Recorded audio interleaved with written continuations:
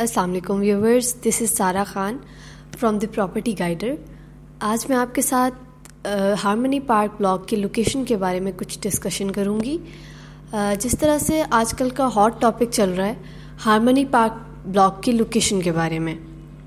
तो जैसे कि आप जानते हैं, कुछ टाइम पहले हारमनी पार्क ब्लॉक लॉन्च किया था कैपिटल स्मार्ट सिटी ने बट इसकी एग्जैक्ट जो लोकेशन थी, वो आइडेंटिफाई नहीं की गई थी।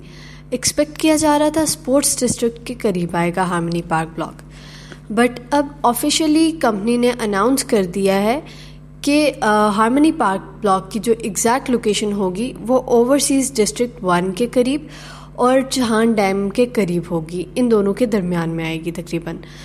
और अब देखा जाए तो 2.66 मरला के कमर्शियल अवेलेबल थे इसमें और 3.5 मरला के रेजिडेंशियल प्लॉट्स थे।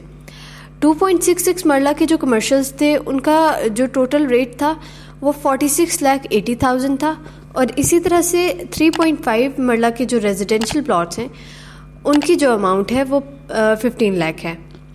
अब इसी तरह से देखा जाए, जैसे ही अनाउंस किया है कि कैपिटल स्मार्ट सिटी की जो हारमनी पार्क ब्लॉक की लोकेशन है ओवरसीज़ डिस्ट्रिक्ट वन के साथ है तो वहाँ पे 200 मशीनरी जो है इंस्टॉल कर दी गई है और वहाँ पे डेवलपमेंट स्टार्ट है।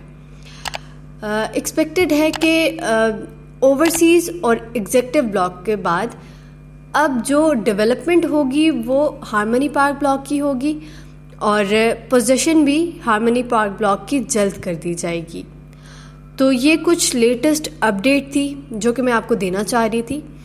इसके अलावा मज़ीद अगर आप कोई इन्फॉर्मेशन चाहते हैं तो आप हमारे दिए गए नंबर्स पर रबता कर सकते हैं और हमारी वेबसाइट को फॉलो कर सकते हैं, हमारे चैनल को सब्सक्राइब कर सकते हैं। Thank you so much